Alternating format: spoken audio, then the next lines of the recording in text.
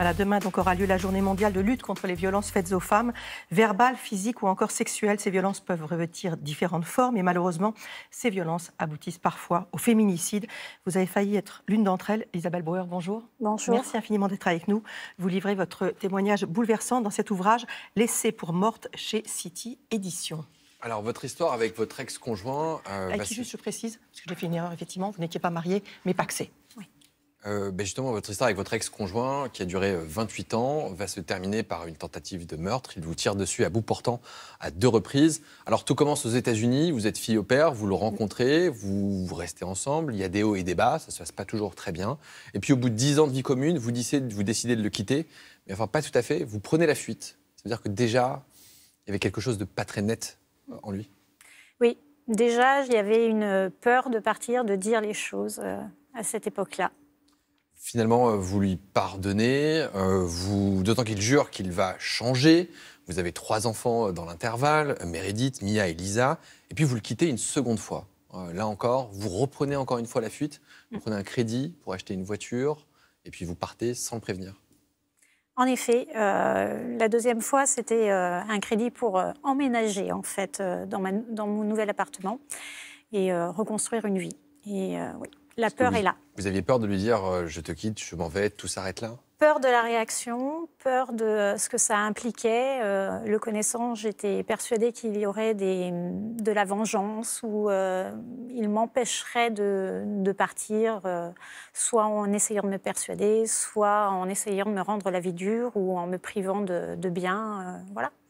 Alors, sauf euh, après cette fuite où il y a eu de la violence physique, mais avant, il n'y avait jamais eu de violence physique directe, euh, mais il y avait une violence euh, psychologique, insidieuse, détournée, cachée. et il s'était trouvé d'ailleurs une passion pour les armes. Tout à fait. Qui vous a quand même inquiété. Oui. on va dire personnellement, je ne suis pas fan non plus de tout ce qui est tir, etc. Et de savoir qu'il détenait une, une armurerie, bon, tout à fait légale et dans un dans une armoire euh, me, faisait peur. Et euh, je lui avais notifié euh, à maintes reprises en disant mais non, on n'a pas besoin de ça à la maison. Enfin voilà.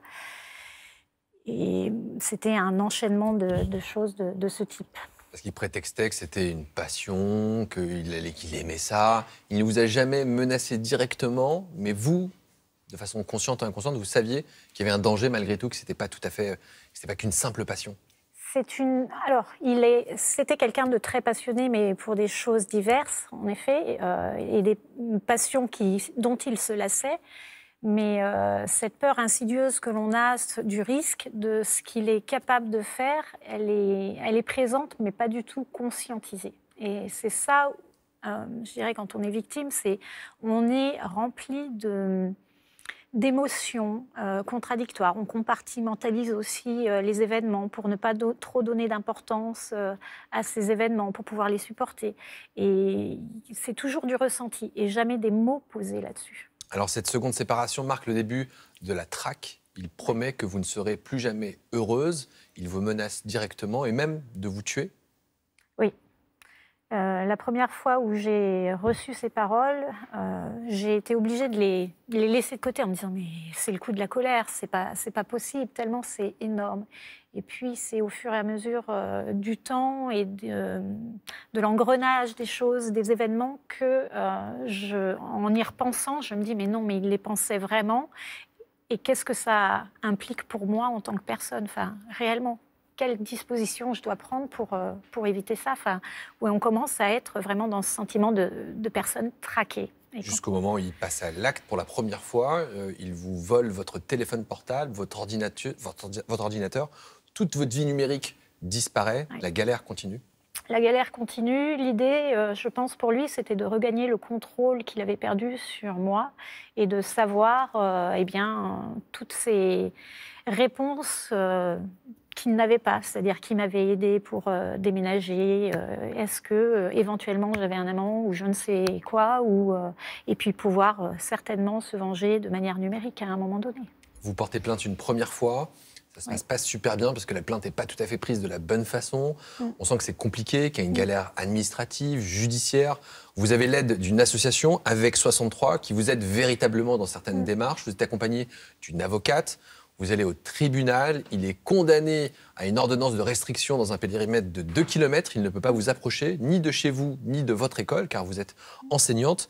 Là, vous vous dites, c'est bon, c'est une victoire, mais on vous prévient, attention, c'est une victoire, mais c'est ça. L'engrenage de euh, déposer plainte et de euh, faire cette action euh, en justice pour poser des limites, c'était mon idée, n'a pas été simple. Enfin, c'est vraiment un pas en avant qui, qui est très difficile émotionnellement et puis en termes de ce que ça va engendrer.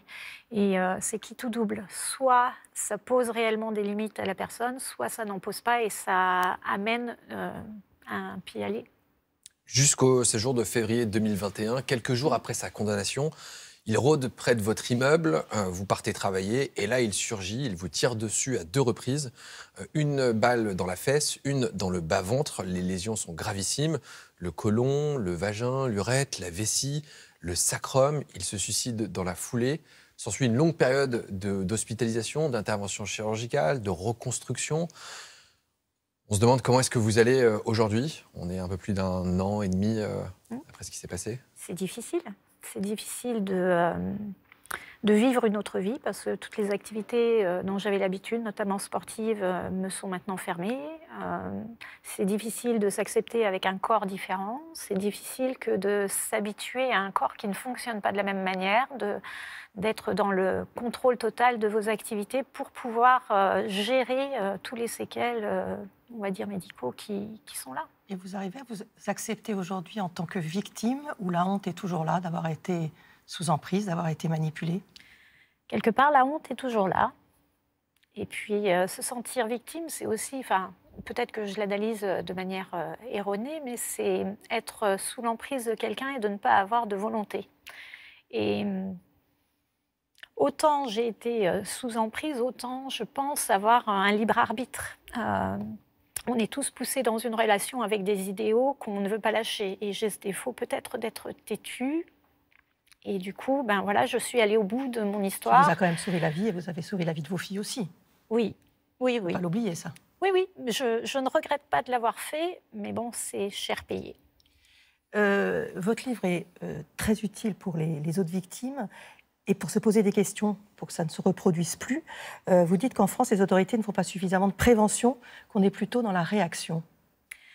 Euh, de mon vécu, c'est ce que je constate. Je ne peux pas dire pour toute la France, dans toutes les localités, mais c'est vrai que euh, la prévention et le suivi des plaintes, des affaires et des personnes qui viennent porter plainte et de la famille qui est concernée devraient être primordiales. Et ça à mon avis, pourrait prévenir certains enfin, débordements comme, euh, comme le mien. Et que tout soit plus rapide. Voilà, la rapidité. Euh, Écrire par mail plutôt que par courrier, ça fait gagner du temps.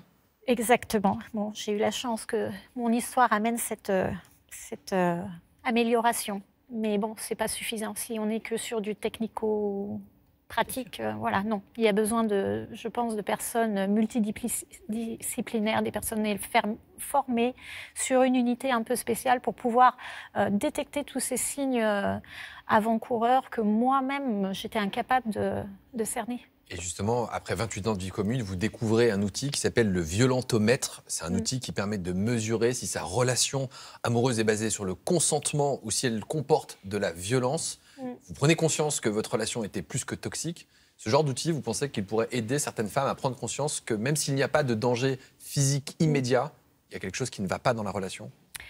Alors pour moi, ça a été vraiment un, choc électrique, mais parce que j'étais aussi accompagnée. C'est-à-dire j'étais à un moment de détresse, euh, le moment où je portais plainte. Euh, la personne euh, m'a accompagnée pour me, dans ce violentomètre en me posant les questions. Et euh, on s'aperçoit, euh, le premier réflexe, c'est de dire bah non.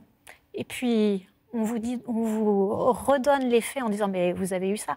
Ah oui. Ah oui, et c'est un moment de réalisation, euh, on va dire graduelle, et de prise de conscience. Et pour cela, je trouve que ce serait peut-être pas intéressant de le diffuser de manière euh, au grand public comme ça. C'est vraiment un outil qui a euh, sa place avec des personnes formées qui sont capables d'accompagner la personne, la victime, qui elle-même se cache la, on va dire la vérité ou qui ne la voit que partiellement. Merci à vous. En cas de violence, il y a plusieurs numéros à connaître, hein, notamment des numéros d'urgence, Rima. Oui, alors il y a des numéros un peu moins connus euh, et on ne sait pas forcément à quoi ils correspondent, mais il va falloir les retenir puisqu'ils vont pouvoir vous aider si vous êtes confronté à une situation de violence immédiate. Alors il y a déjà le 17 par téléphone, c'est le numéro de la police ou de la gendarmerie, et il y a également le 114 que l'on peut contacter par SMS puisque parfois, eh c'est plus discret d'envoyer un texto que d'appeler.